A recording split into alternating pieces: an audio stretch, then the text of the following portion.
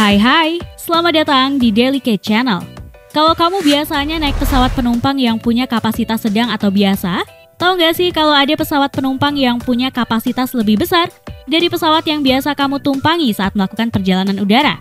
Tak semua orang bisa mencoba untuk naik dan mencoba pesawat penumpang terbesar yang ada di dunia. Kalaupun kamu salah satunya yang berhasil, pastinya akan menjadi pengalaman tak terlupakan di hidupmu kan? Salah satu yang menarik dari pesawat jumbo adalah kemampuan mesinnya. Selama ini, General Electric dikenal sebagai produsen penyedia mesin pesawat di dunia. Kebanyakan pesawat terbang yang beroperasi di Indonesia menggunakan mesin dari GE. Kategori pesawat besar di sini adalah pesawat penumpang komersial yang mampu mengangkut hingga ratusan penumpang dalam sekali penerbangan. Penasaran seperti apa? Kamu simak ya videonya. Tapi sebelum itu pastikan kalian sudah memencet tombol subscribe dan aktifkan lonceng notifikasi channelnya agar kamu nggak ketinggalan video terbaru dari channel ini.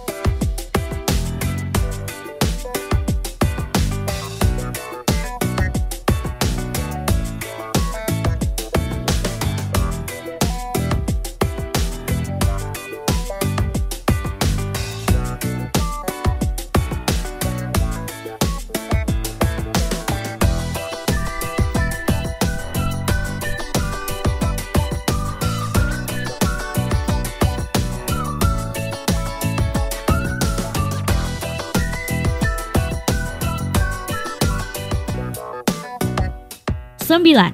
Airbus A330-300 Airbus A330 merupakan sebuah pesawat terbang jet sipil komersial bermesin ganda jarak menengah hingga jauh berkapasitas besar, berbadan lebar. Pesawat ini dibuat pada waktu yang sama dengan Airbus A340 bermesin 4. Pesawat ini dikembangkan dari Airbus A300, pesawat badan lebar perdana Airbus yang sangat sukses di pasaran.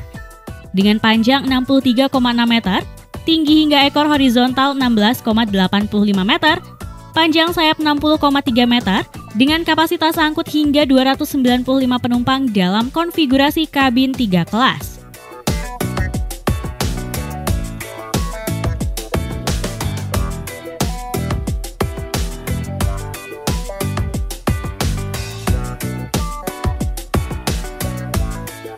Delapan, Airbus A340-300 Airbus A340-300 adalah pesawat penumpang yang dibuat di Prancis dengan kapasitas 295 kursi. Pesawat ini pertama kali diproduksi pada tahun 1993. Memiliki desain yang mirip dengan tipe Airbus A330, tetapi A340 menggunakan empat mesin tidak hanya dua, seperti A330. Ditujukan untuk menggantikan pesawat generasi sebelumnya seperti Boeing 747, tetapi varian terakhir ini sekarang bersaing dengan Boeing 777. Lebih dari 370 A340 dioperasikan di seluruh dunia pada September 2010. Produksi A340 resmi ditutup pada paruh ketiga tahun 2011.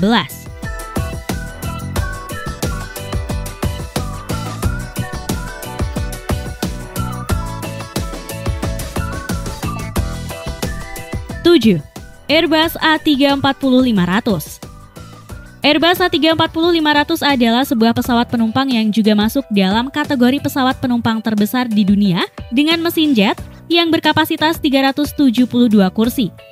Pesawat ini melakukan penerbangan perdana pada 11 Februari 2002 dan disertifikasi pada 3 Desember 2002 dengan pengiriman awal kepada Emirates. Pesawat ini mampu terbang non-stop dari London menuju Perth, sedangkan penerbangan arah sebaliknya membutuhkan perhentian tambahan karena adanya hambatan angin.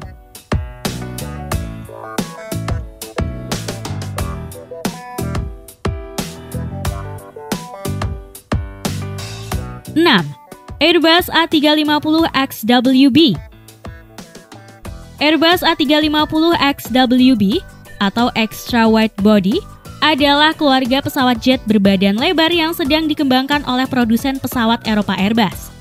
A350 akan menjadi pesawat Airbus pertama dengan struktur kedua sayap pesawat dibuat dari polimer diperkuat serat karbon. Pesawat ini akan membawa 270 sampai 350 penumpang di tempat duduk kelas 3, tergantung pada varian.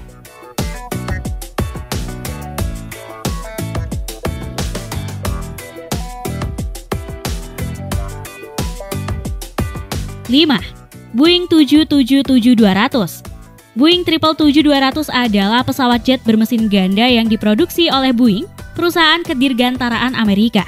Pesawat ini juga sering disebut sebagai 777.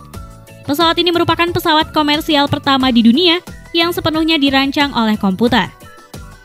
Boeing 777 adalah sebuah pesawat penumpang sipil berbadan lebar bermesin ganda jarak jauh dapat mengangkut antara 314 sampai 451 penumpang dan memiliki jangkauan dari 9.695 sampai 17.372 km. Penerbangan pertama Boeing 777 dilakukan pada 1994. Ciri unik dari 777 adalah 6 roda pendaratan per set di setiap roda pendaratan utama. Badan pesawat yang bundar sempurna dan telkon belakang yang menyerupai mata pisau. Pada 2005 harga satuannya sekitar 213 juta US dollar, meskipun harga bagi maskapai penerbangan dirahasiakan dan dapat bervariasi sangat besar.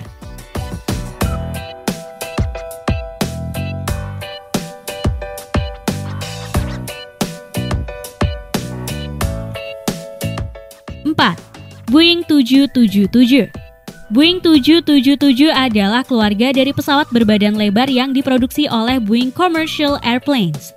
Pesawat ini juga menjadi salah satu pesawat terbesar bermesin jet dan memiliki kapasitas untuk 314 hingga 451 penumpang. Terbang sepanjang 9.695 hingga 17.594 km. Perusahaan penerbangan asal Indonesia, Garuda Indonesia, rupanya punya pesawat ini. Dan menariknya, Boeing 777 milik Garuda Indonesia ini yang mampu menjangkau jarak jauh menggunakan mesin yang diproduksi oleh General Electric yakni GE90.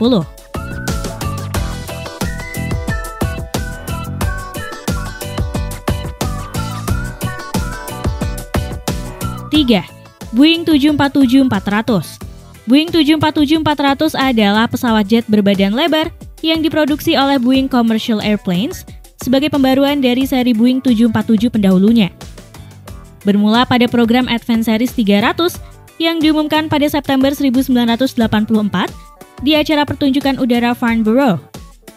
Boeing menargetkan 747-400 dapat mengurangi biaya operasional hingga 10% dengan mesin yang lebih efisien dan jangkauan terbang yang lebih jauh, 1850 km. 747-400 varian penumpang standar diluncurkan dengan bentang sayap lebih panjang, winglet, mesin yang baru, dan kokpit yang menghapus peran flight engineer. Varian ini juga menggunakan dek atas yang lebih panjang, sama seperti pada 747-300. Varian ini menjadi varian yang paling banyak terjual dengan 442 unit yang dibuat. Pesawat ini mampu mengangkut 416 penumpang dalam pengaturan tiga kelas, 524 orang dalam konfigurasi dua kelas, dan 660 orang jika semua penumpang masuk dalam kelas ekonomi.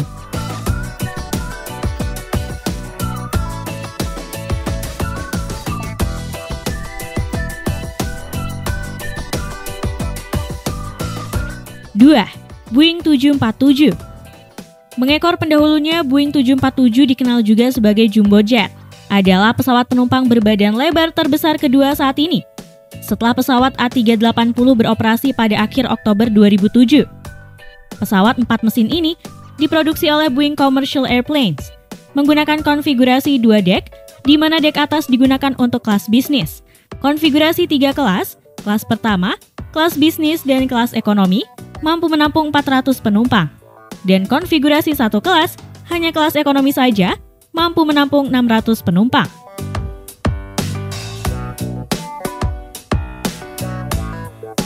1.